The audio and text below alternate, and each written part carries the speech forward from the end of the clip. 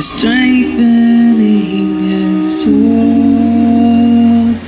I never thought it would come to this. Now